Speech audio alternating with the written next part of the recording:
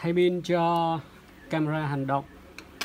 À, hiện nay một số camera hành động à, nó đã tích hợp pin bên trong và các bạn không thể tháo không thể thay pin giống như GoPro được.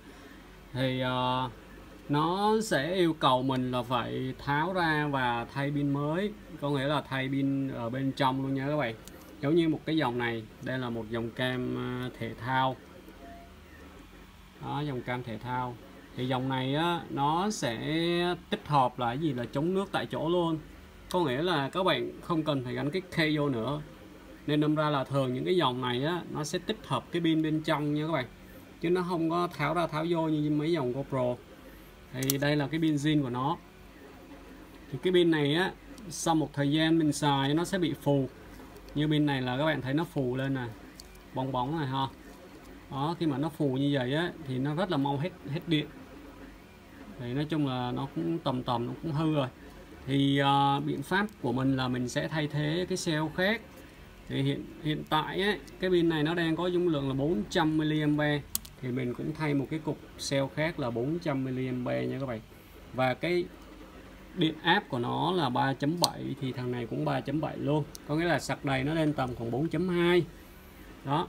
Thì khi mà mình thay cùng cái dung lượng hoặc là các bạn có thể nếu mà trong trường hợp nha như cái này mình có thể mình thay thêm lên được khoảng 600 bởi vì với cái cái cái cây này nó khá lớn thì các bạn có thể thay lên được 600 nhưng mà trong cái video này thì mình sẽ thay 400 tương tự thôi.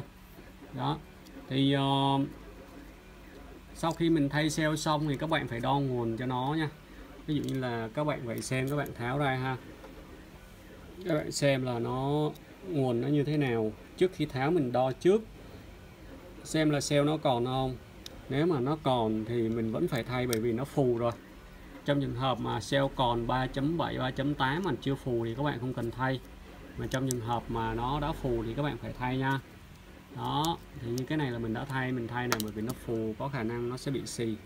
Trong trường hợp nó căng quá nó xì thì nó sẽ chạm vô những cái ờ, những cái cái cái mặt của mình á, là mình sẽ rất rất bị dễ hư.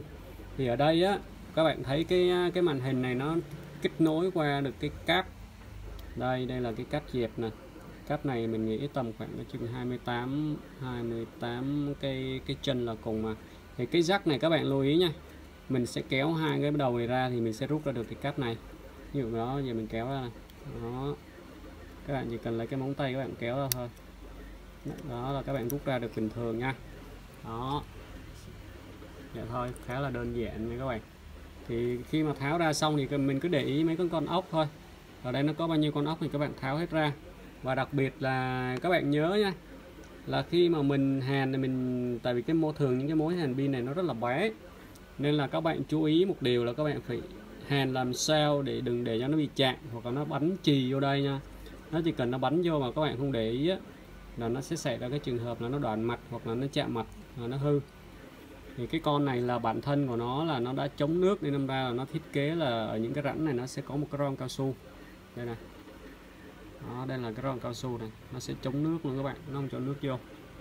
Đó và nhìn qua cái thấu kính này nhìn qua cái kính này để, để xài này thì cái cam này nó cũng khá là hay á.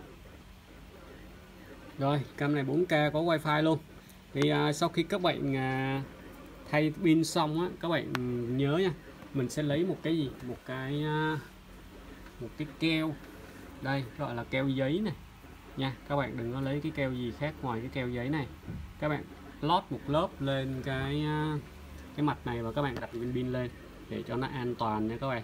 Trong trường hợp mà nó có chạm ấy nó chạm vỏ như nào đó thì nó cũng an toàn cho cái à, cái cái FC của cái camera này. Rồi thường thì các bạn lưu ý là tất cả những cái dòng cam um, hành động hiện nay trên thị trường nó đều dùng một S hết một S có nghĩa là một S là một cell một cell là sạc đầy là 4.2V và nó sẽ nó sẽ qua một cái bộ kích nha các bạn. Nó sẽ kích lên 5V để nó nuôi nguồn, nuôi cho cái thiết bị này của mình. Nên các bạn lưu ý, thì khi mà mình thay thì mình chỉ thay một S thôi.